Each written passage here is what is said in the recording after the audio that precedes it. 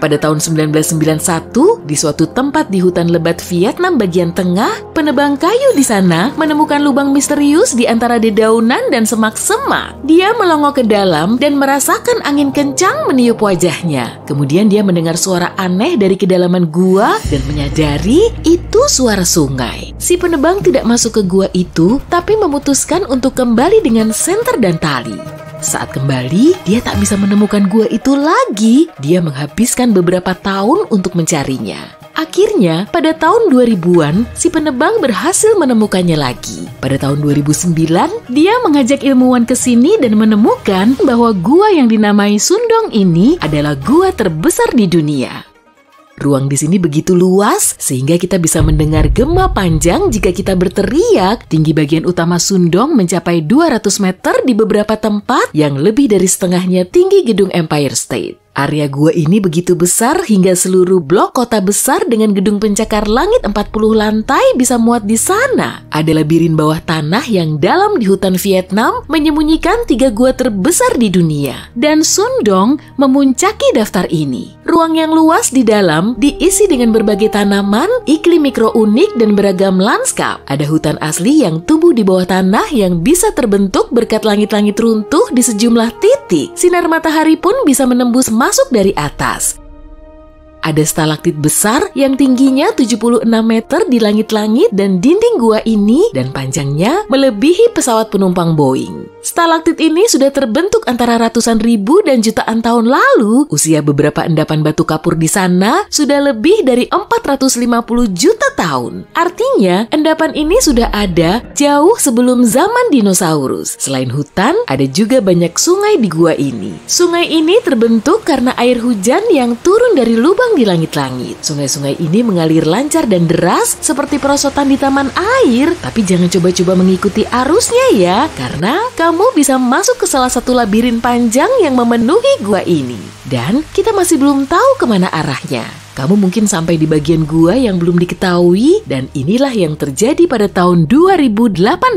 Tiga penyelam tidak sengaja menemukan daerah baru di Sundong. Gua itu ternyata jauh lebih besar dari dugaan semua orang. Mereka terjun ke salah satu danau gua dan mencapai kedalaman 78 meter. Di dasarnya mereka menemukan terowongan terpisah dan para penyelam menurunkan tali pancing dengan beban timah ke dalam sana dan menemukan bahwa tempat ini mencapai kedalaman 120 meter. Panjang terowongannya pun lebih dari satu kilometer, tapi kita masih belum tahu ukuran terowongan ini dengan pasti. Sundong juga terhubung ke gua besar lainnya. Ada banyak objek yang bisa kamu lihat di Sundong selain labirin dan sungai bawah tanah. Kamu bisa menemukan ruangan luas berisi danau dan kamu bisa berjalan berjam-jam menyusuri koridor gunung yang gelap. Tempat ini sangat indah tapi sekaligus berbahaya. Yang paling kerennya, kamu bisa berjalan-jalan di sini. Sejak tahun 2013, Gua Sundong telah dibuka untuk wisatawan, tapi ini bukan perjalanan mudah cuma untuk foto-foto selfie di tempat tujuan. Ekspedisi ke gua ini berlangsung selama beberapa hari. Di satu setengah hari pertama, kamu akan menjelajah gua terbesar ketiga di dunia. Setelah itu, barulah kamu sampai di Sundong. Jalur di sana akan membawamu melewati sungai, hutan lebat, pegunungan, dan bebatuan. Kamu bisa bertemu banyak burung, monyet, dan hewan eksotis lainnya. Menurut banyak orang, jalan ke gua bahkan lebih indah dibanding gua itu sendiri. Saat tiba di tempat tujuan, kamu akan menghabiskan beberapa hari berikutnya menjelajahi Sundong. Bersama dengan turis lain, pemandu profesional, dan pembawa barang, kamu akan tidur di dalam tenda di beberapa titik gua setiap harinya. Kamu akan melihat lanskap menakjubkan dan jangan kaget ya, fosil besar berumur 400 juta tahun. Ada juga ruangan gelap berisi danau untuk berenang. Ekspedisi petualangan seperti ini menjadi lebih populer setiap tahunnya. Orang yang pernah mengunjungi gua ini menyebutnya sebagai tempat paling menakjubkan yang pernah mereka lihat.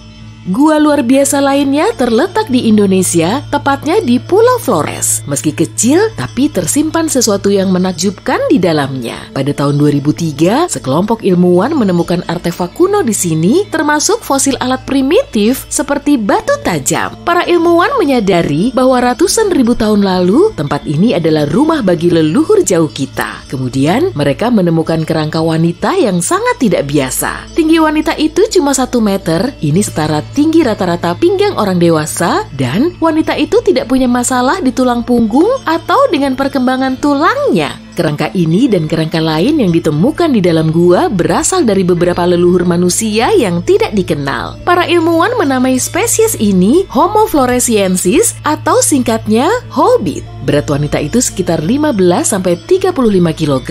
Analisis tengkorak dan tulangnya menunjukkan bahwa umurnya sekitar 30 tahun.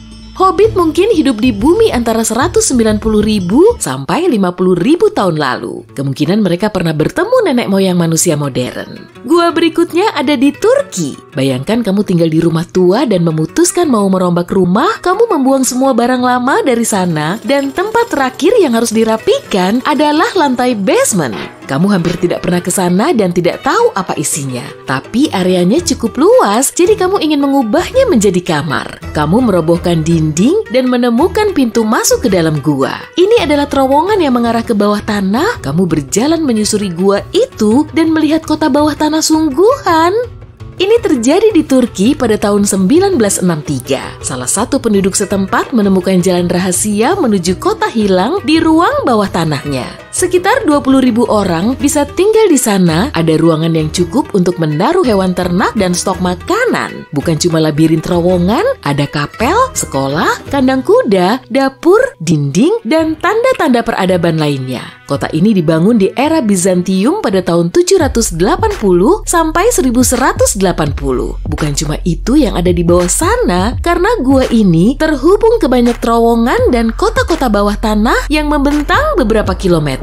Mari kita selesaikan perjalanan kita di gua yang paling aneh dan paling mengerikan. Kita akan pergi ke Rumania bagian tenggara di dekat Laut Hitam. Di sini, di dataran lebar yang sunyi, kamu bisa menemukan sebuah lubang. Ini adalah terowongan yang mengarah jauh ke bawah tanah. Udara di dalam gua mengandung kadar hidrogen sulfida dan karbon dioksida yang sangat tinggi. Dalam kondisi normal, udara yang kita hirup mengandung sekitar 20% oksigen, tapi cuma ada 10% oksigen di sini. Kamu tak akan bisa bernapas bebas tanpa tangki oksigen. Air dan udara di sini beracun dan hampir tak ada hewan yang mampu hidup dalam kondisi seperti ini, setidaknya hewan yang kita ketahui. Dan gua ini dipenuhi 48 spesies organisme hidup, 33 di antaranya adalah spesies baru yang tidak dikenal. Makhluk merayap yang hidup di sini bisa mengejutkanmu, terutama jika kamu takut serangga, siput putih aneh dan laba-laba putih merangkak di sepanjang dinding. Spesies lintah dan udang transparan yang tidak dikenal berenang di dalam airnya, kaki seribu putih dengan kumis besar juga merangkak di tanah. Di sini,